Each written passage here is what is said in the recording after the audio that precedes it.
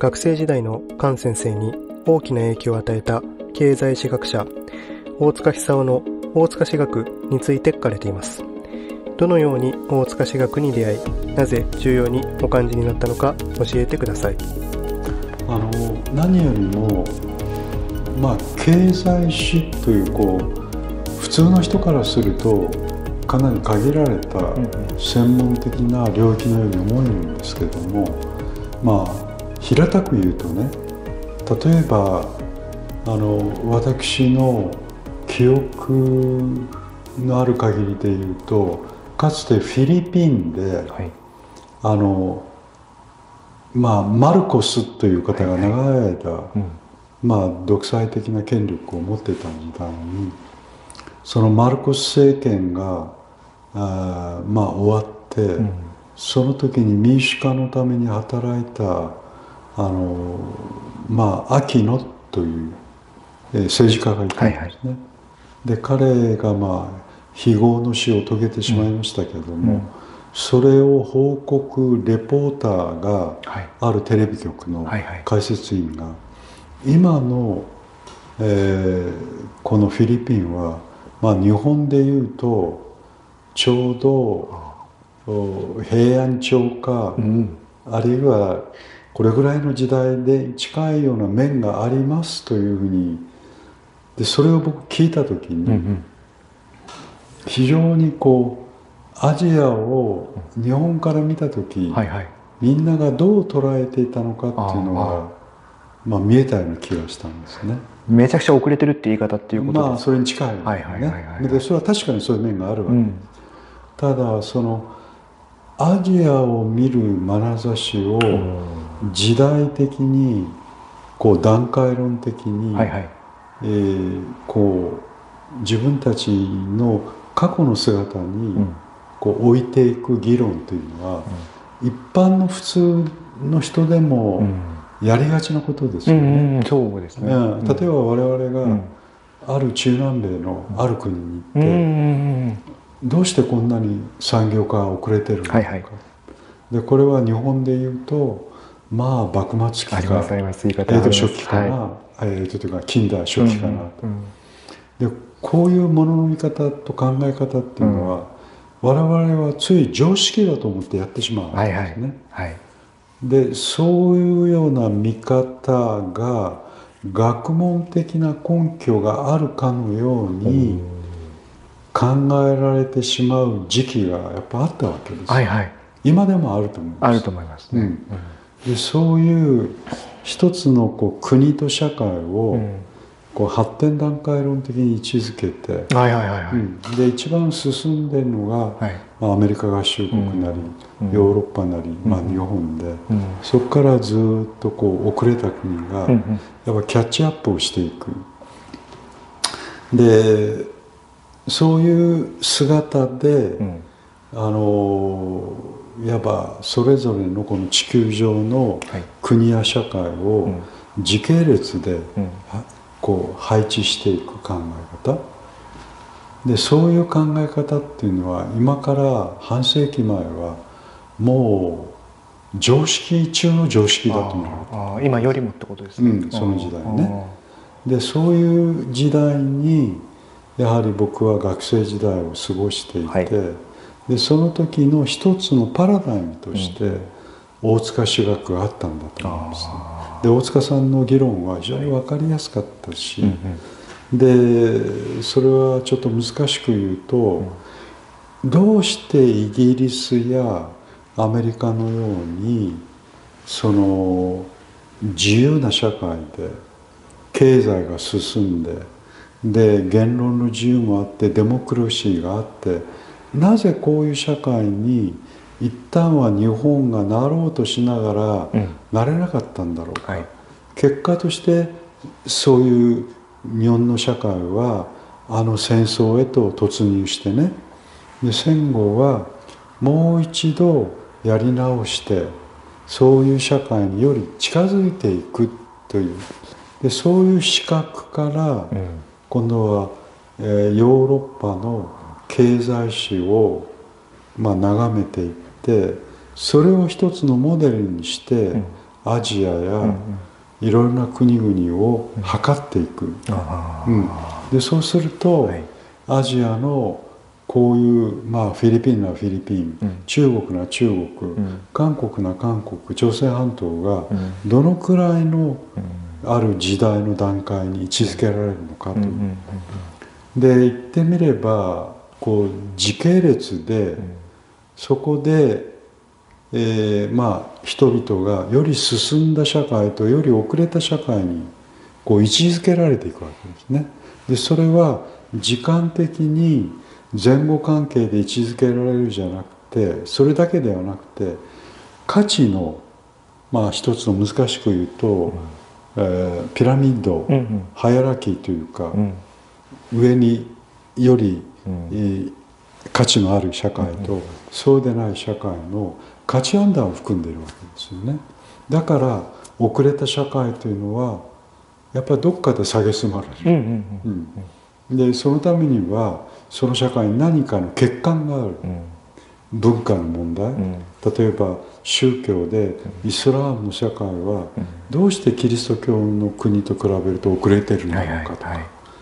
あるいは中国はなぜ日本のような社会になれないんだろうかとか、でこういうようなそれぞれの社会の遅れ、ん。バックワードなそういう社会にやっぱり内在した欠陥があるはずだ、それが宗教だったり物の見方や考え方だったりでそれは抽象的に言うと価値ということになるんですよね。人々のその社会をえー秩序づけている何か価値について、ん。やはりそういう発展を阻害するようなさまざまな要因があって、その社会は遅れてるんじゃないだろう、でそういう考え方を非常に分かりやすく学問的に提示してくれたのが、いわゆる大塚久さんだったと思います。で大塚さんは大塚さんなりの問題意識があって日本の社会をより西洋型アメリカ型の社会に近づけたい、はい。うん、でこういう、まあ、意図から、えまあ実践的な意図があって、ん。大塚さんの,、やっぱりあの、まあ、経済史の体系っていうのが出来上がってたと思うんですね。で僕たちの学生時代それがものすごく大きな影響を持ったんです。よ。それはなぜかというと、近代化論というのがメインテーマだったんですね。あいかに遅れた社会がより発展してアメリカ型の大衆消費社会になれるかで日本もそれに向かっていくんだ。うん。で今日本はそういう上昇気流に乗ってん。今こういう経済的な成長や豊かさがどんどんそれに比べてなんてあのアジアは遅れてるんだろうかと、まあ、こういうような見方があって、それが決定づけられたのがやっぱ G7 だったと、あ1975はいはい。年うんにね、日本は、でも日本は大体1968年に旧西ドイツを抜いて世界第2位の自由主義陣営の経済大国になってたわけですね。で当時と韓国の GDP を比べると大体韓国の日本はそうね30倍はあったと思います。えええっと当時のドル換算で960億ドルいってたのかな、え韓国はせいぜい34億ドルぐらいでしたもちろん人口規模がね、日本が2倍ぐらい大きいとしても、うん。30対1じゃ話にならないでしょ。でうん。で今どうか、一人当たり GDP はほとんど変わらない。そうですね。ええ、でまあ全体のグロスから見ると、大体韓国は日本の3分の1から2分の1の間ぐらいです、人口が5000万ですから、で50年でそうなったわけです、じゃああの時、僕たちが考えてたそのアジア社会の停滞、ここれは一体何だったのか。そうですね、うん、今から思うとね。このスピードである意味ではキャッチアップされたってことですよね。はい、そうするとそれはね、ちょうどどう言ったらいいんだろう。あの虫の標本のようにおピンでこう押されて、そこで全く発展もできないような、そういうこうステレオタイプが作られてたある時代があったの。あはははうん、で僕はそういう時代にえー多感なはい。高校生か大学生になったから、アジアっていうのは低開発国。うん。そしてどうしようもなく遅れている。うん。で日本その先にあるうん。G7 のような欧米諸国に近づくことがでそのためにはどうしたらいいだろうか、はいはい。そのためには自分たちの遅れた部分うをん。切り開いて、それを外科手術のよううんにおでそうなるとそこにはさまざまな改革が必要だと。ですね。例えば宗教的な、うん。例えば祖先崇拝とか、うん。あるいは儒教的な考え方とか、うんうん。あるいは家族の中の共同体的な倫理とかうん。こういうものがほとんど合理性を欠いた、はいはいはい。うん、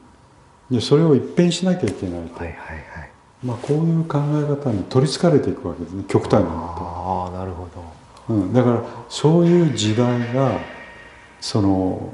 もちろん大塚さんはそこまでは言ってないにしてもあメッセージ的にはん僕にはそう思えたわけですね。え大塚私学を経由し、ドイツ留学を挟みつつ、マックス・ウェーバーの研究にカン先生は没頭されます。ウェーバーから見るヨーロッパとアジアとはどのようなものなのでしょうか？これははい。70年代の初めっていうのはこれは今の若い人にはちょっと想像もできないぐらいに学生運動が一挙にしぼんであそしてまあ連合赤軍事件もあったり、あうん。要するに暴れてる学生はやばいと、はい。うん、それから70年代の初頭は三島事件もあったわけです。そうするとねあの今の質問に答えるためには、はい。左もやばいし、うんうん。右もやばい。極端はいかんと。ええ極端な。要するにね今の豊かさやうんみんながこんなに楽しんでいる雰囲気をぶっ壊すようなその学生運動と称してあ学園にのさばって授業も受けられないようにするような困ったやつらとそれからあの市ヶ谷に突入してこういうような右のこういうのもねうんもうそういうのはお笑い箱にしようじゃないかと、うんうんうんあの KT っていう映画があるんですけど、キリングターゲット。はいはでその中で若き自衛官がはい。三島に、あの浸水している自衛官がああの佐藤有名な三國連太郎さんの息子さんで彼に対して、はいもう一人あの分野さんで、はい。原田義雄という有名なはいはい。映画俳優がいてね、それでその二人の間で会話があるんですよ、うんうんこれがねものすごく僕は的を得たと思うんだけど、その原田義雄は学生運動崩れのジャーナリストなわけね、ああなるほど。うん、で彼がこう言うんですね。その狼は死ねと。はいはいはい。あの若き自衛官で三島に進出してる彼はね、はいはい。我々自衛隊は豚のような国民を守るためにあ命を張ってるんじゃないと。あはいはい。三島が唱えたようなあこの戦後日本のだらしなさをねーうん。というふうに彼が話をしたら、うん。その原田義雄の分野さんはうん「狼は死ね」と。うん「豚で何で悪いんだ」と。うんうん「国民は豚だ」と。うん。ただあの何も分からずに愚かだと。その日暮らしで豊かであればいいなんていうのはね、でも豚であってどこが悪いんだと、狼たちが戦前も戦後も日本をこんなひどい目に遭わせたじゃないかあはいはいはい、うん、だから狼はいない方がいいと、うん、それであの超えた豚でも平和な豚の方がいいんだと。まあ分かる気します。ね。うん、これがね、70年代の初期のある日本のこう思想的な構造をよく表してなるほどなるほど、うん、でやっぱりね痩せた豚は嫌だけども太った豚の方がいいわと。あなるほどなるほど、うん、で狼は嫌、うん、だからそういう人たちはもう世の中から出ていってというでこれが右と左。どちらでもいいか。でそういう時代に結局マルクス主義とかこういう戦後を彩ってきた左翼は全部こう、お笑い箱になるわけですね。でそのマルクス主義に対抗してたのがウェーバー。あ、はいはい。うん、ウェーバーがマルクスに対抗できる唯一の対抗馬だった。ところがマルクス主義の方が退場してしまうと、うんうん、まあウェーバーもいらないということになる。はいはい、結局ね、はいはい、そうすると僕が70年代に研究しようとした、はい、そのウェーバーもどんどんお笑い箱になっていく、え。ー、そうすると僕にとっては、はい、あの研究テーマが、だんだん価値がなくなってくる。でそういうこともあって、はい、一回外に出ようと、えー、それでドイツ、はいはいはいはい、70年代の日本は、うんうん。世界がスタグレーションになって、はい、皆さん信じられないと思うけど、うん、当時イギリス行った時、うん、これが大英帝国の末流かと思うぐらい、うん、もうロンドンを歩くとゴミだらけ、はいはいはいはい、そしてストライキばっかり、うんうん、そして経済はどんどん落ちていく、いわゆる英国病と言われたわけですよ。今は日本病が流行ってるみたいな、それでアメリカもひどい状態、はい、でそういう中でヨーロッパはテロが吹き荒れてたんです、ドイツでは旧西ドイツ赤軍が、えテロを走ってたし、うん、それからイタリアでは赤い旅団、うん、これもモロ首相っていうのを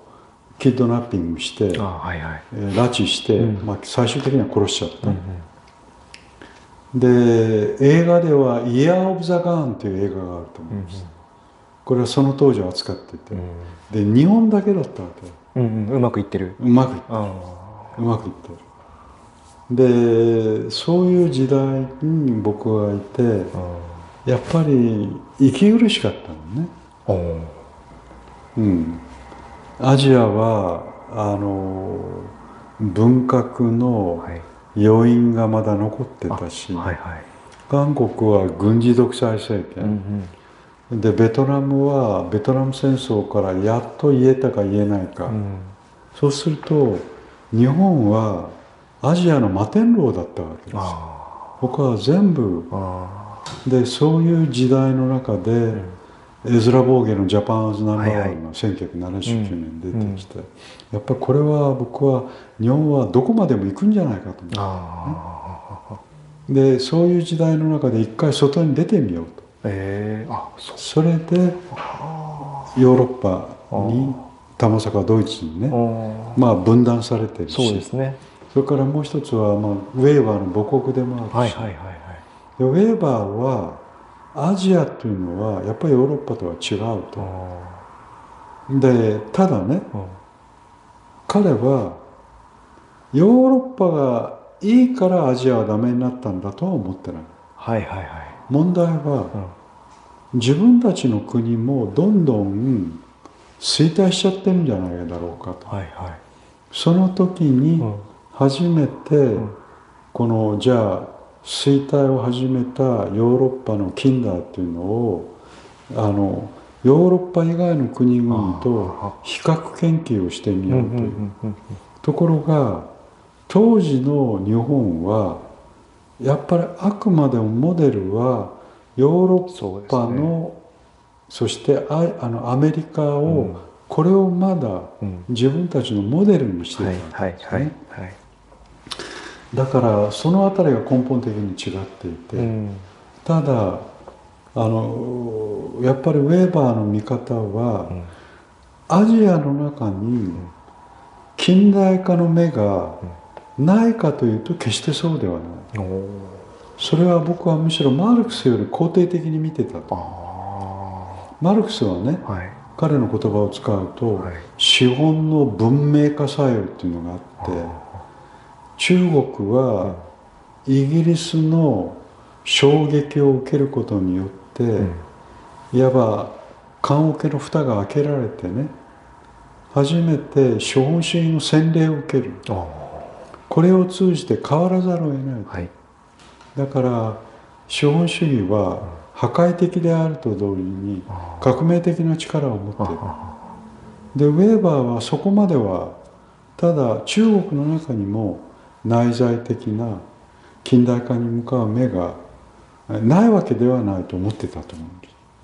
ただいずれにせよ時代はもうマルクスかウェーバーかという時代が終わって、今流行っていた時代から言うと、ポストモダンへと行きつつあったわけ、うん、だからフランスである、まあ哲学者が知識人の終焉、もうサルトルとか、そういう大物の知識人が何かご選択を言う時代は終わった。と。うん。うん、そして、えー、まあその後出てくるあのフランシス・コヤマの歴史の終わりじゃないんですけど、はい。はいはいもうグランドセオリーは終わったと、はい、そして巨大な戦争とか、うん、革命とか、うん、ユートピアとか、うん、こんなことはもう終わって、人々は生活のアメニティにうつつを抜かす、退屈だけども平和な時代が来たと、それは今どこに実現されているか、それはアメリカだと、もうアメリカのような社会。これが人類史の究極の行き着く先なんだと、うん、というような考え方が70年代の終わりぐらいから。そうすると日本は自分たちこそ実現されたユートピアだと、うん、いうようなふうなことを言う人もいたんです、世界で社会主義を実現した国が日本だと。みんな平均の中産階級が豊かで格差がなくて、そしてみんなほどほどの中流で、こんないい社会が世界にどこにある言われましたね、はい、あったら言ってちょうだいと、アメリカですらも、もうあんなに廃れてしまって、で80年代のプラザ合意前後になると、はい、日本はやっぱりまああのいろいろな、えーうん。えー、力を持つようになりましたしでそういう時代の中で僕はどこか違うんじゃないかと、うん、近代は本当に終わったんだろうかと、うん、大文字の近代はね、はい。はい、でそれはなぜかというとやっぱりウェーバーをやっていくと20世紀の始まりは第一次世界大戦。で第一次世界大戦が世界史をひっくり返したそれは何だったのかということが彼らに究明されてるわけです。よ。でこれは一足飛びに今につなげると、後で話しますけどウクライナ戦争も、そこを見ないとわからないわ。け、第一次世界大戦でロシア革命が起きてそしてそこからファシズムも出てくるわけだから。そうするとウクライナが独立したのもこれはロシア革命によってロシアソビエトに編入されてすでに第一次世界大戦が起きた頃からやっぱウクライナの独立の動きはあったわけだからあのロシアの衛星国家が第一次世界大戦で帝国の首引きから解放されるわけですね。でもそれがまた巡り巡って、今のロシアをめぐる問題とつながっていってる。だから近代は終わってないパレスチナ系アメリカ人の文学研究者エドワード・サイードのオリエンタリズムとの出会いに大きな影響を受けたと書かれています。サイードの視点とはどのようなものだったのでしょうか？彼は、はい、あのパレスチナ人ですけどお父さんが大変な金持ちだったのであの確かエジプトかなんかの、どちらかというと西洋式の学校に入り、うん、そしてアメリカでもハーバードとか、はいはい、まあ超一流の IB リーグ。で彼はあの音楽もできて、うん、あの今日本あ、えー、現代で最高の、うん、あのまあ指揮者と言われている、今ちょっと思い出せないけど、彼ともあのコラボがあったりそれから武術家でもあり英語やもういろんな言語もできるし、はいはい、まあ、超一流エリートですよ。見た目もかっこいいですしね、ね、だから人によってはいろいろ批判する人もいるけど、はい、でも彼はやっぱパレスチナ人でうんうん、でそのサイードが、うん、最もアメリカ人的なものでありながら、うん、中東出身のパレスチナとして、はい。まあ、オリエンタリズムか、はいはい、でオリエンタリズムっていうのは要するに古代以来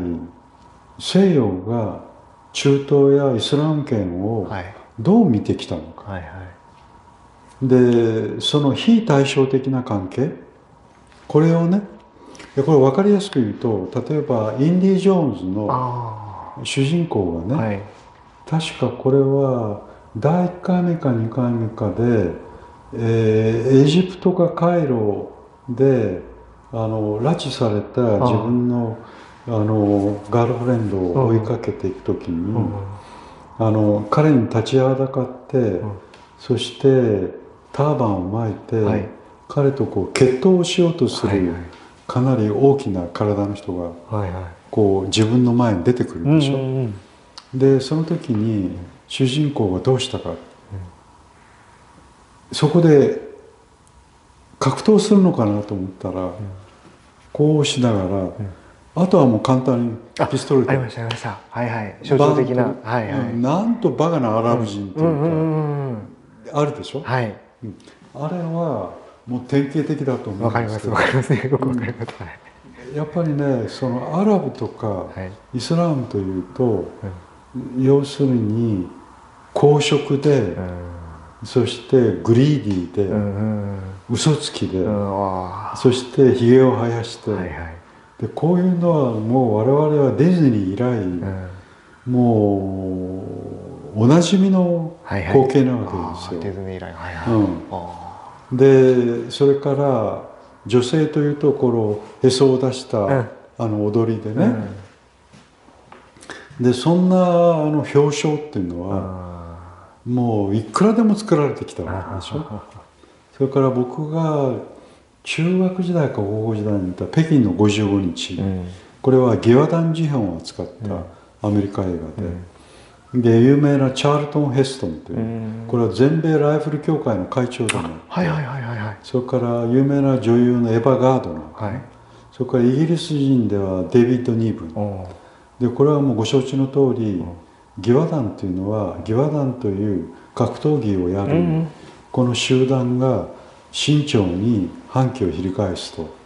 でいろんなところで反乱が起きるから日本が中心になって、まあ、連合国が、うん、あの中国にあの自分たちの居留民を保護という名のもとに、うん、連合国が占領してしまうわけですよね。でその時にあのシーン、うん、最初のシーンは清流刀を出して、うんうん、そこで首を切る。はい。でいかにもこの怪しげな、うんうん、でもこれ西洋人が演じてるわけですけど、今で言えば差別的になるようなそういう姿でそれで生体婚も出てる。生体婚もこれはやっぱり西洋人がやってるんだけどいかにもというね、はいはい、で僕はそれ中学時代に見た時に、うん、なんてて中国人ってひどいんだろう。でその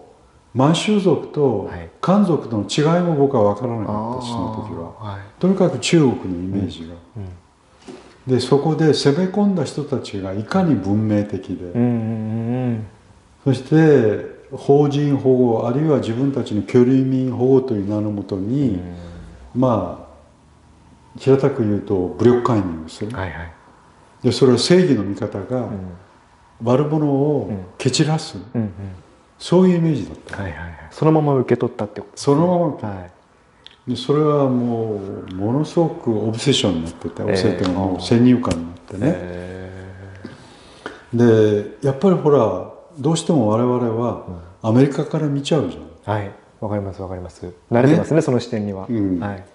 でましてやそのチャールトン・ヘストンだし、エヴァ・ガードナーだし、美しいアメリカの大女優だし、うんうんでそれと比較するともう生態校のこの地味猛量。でこれはねやっぱりイスラームを見る時と同じで。でそれは分かりやすいカリカチャーでしょ、はいはいはい、これが文学や、うん、それから社会科学や、うん、歴史や、うん、もうありとあらゆるところにそういうオリエンタリズムが浸透している、これを批判的に取り上げたのがサイードだった。はいはいこれが出たのが1978年だった原文が。で僕は1979年に旧西ドイツいたから、起きたのがイラン革命だった、アヤトラ・ホメニがパリから凱旋して、そしてアメリカ大使館を革命防衛隊が包囲するでしょ、うそして大使館員を含めて人質に取るわけです、はい、でアメリカに人質を取ってアメリカヤンキーゴーホームという、うんうん、でなんとひどいことをやるんだ、うん、大使館という民間人を、でも一人一人見ればほとんどエージェントも多かったんですその中では。で僕はその学生寮にいてイランから来た学生たちと革命1周年のドキュメンタリーを見たのね。はいはいでイラン革命何が起きてたのか、うん、そしたらやっぱベトナム戦争で使われたナパーム弾を、やっぱりあのデモで暴動に打ち込んでたんですよ、うん、それでもう大量の負傷者をこういう部屋のようなところに放り投げる。そしてお医者さんはあの傷んだ人を手術するもう泣きながら、うん、でこういうシーンがもうたくさん出てきて、うん、ちょっと僕は驚いた、うん、いかにひどかったかと、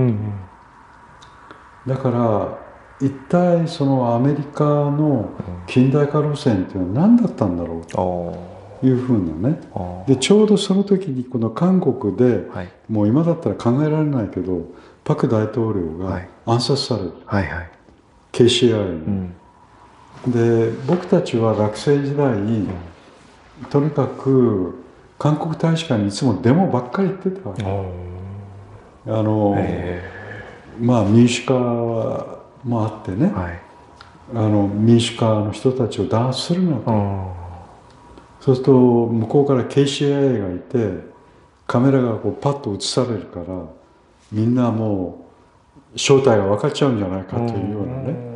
まあ、そういうそして有栖川宮公園ってあるでしょ、はいはいはい、六本木の近くに、はい、あそこでみんな集会が終わった後に反省会をやって、えー、というようなね。でそうすると1979年にイランと韓国で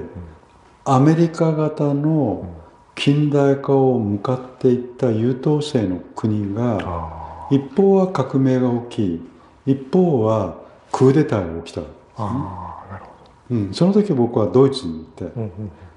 その時初めてただならぬことが起きてると、でこれはやっぱりその近代化路線との破綻ではないかと。そこからもう一度近代化っていうのを見直そうということになって。でその時にやっぱサイードが出した、はい、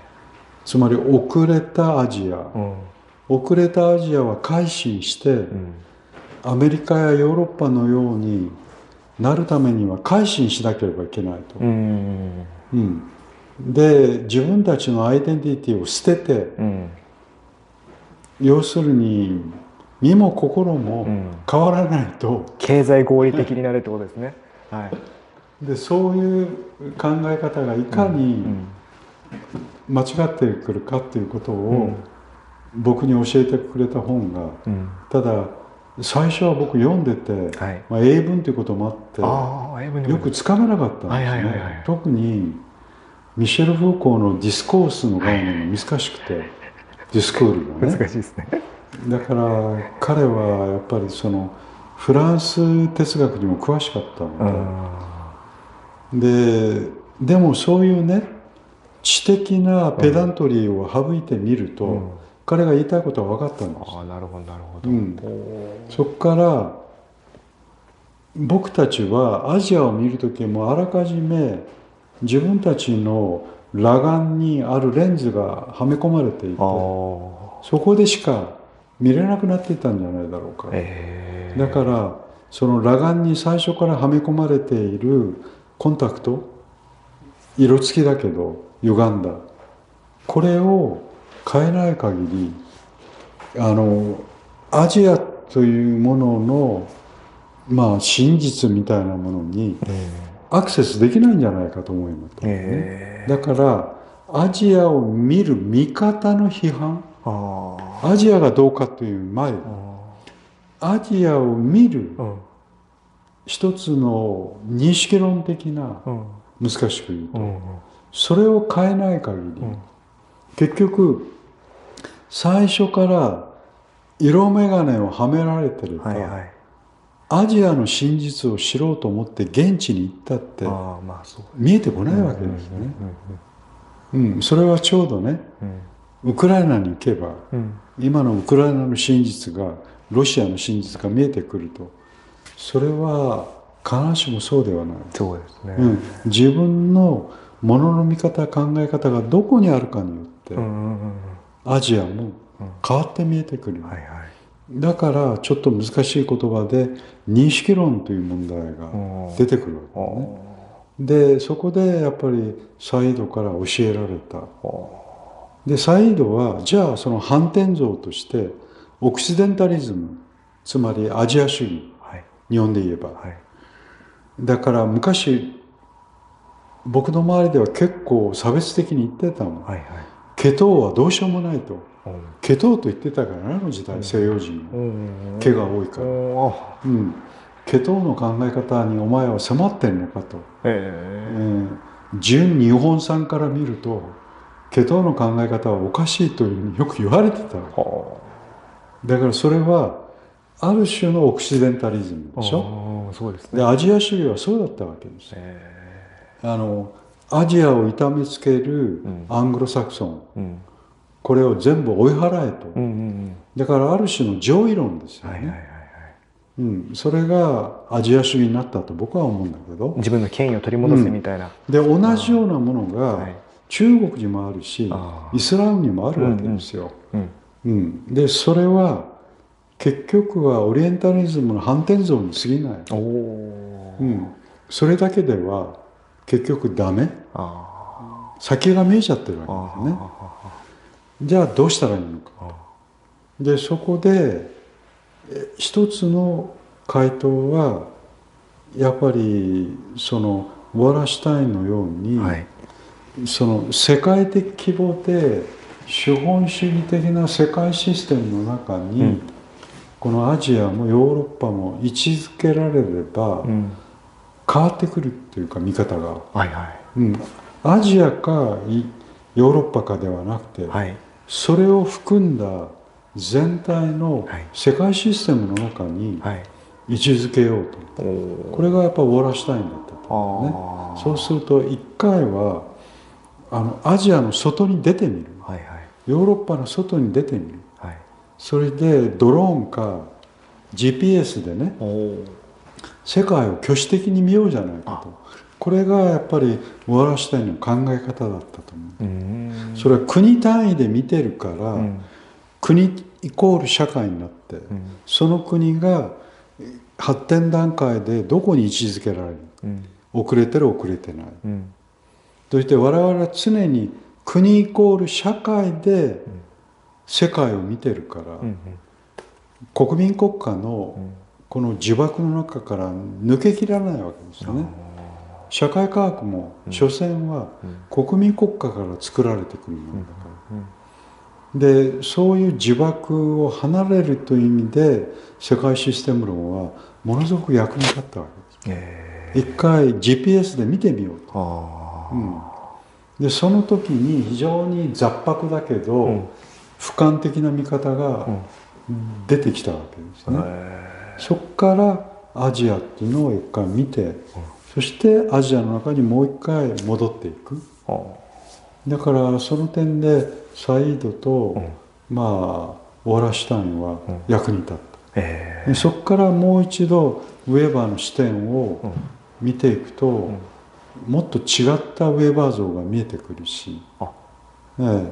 そこが一つのそしてそこから見てきた時にどうして日本ではアジアをこんなに低く見積もるんだろうと。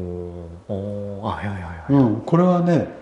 多分アジアにいる国々の共通点でもあると思うんですよ。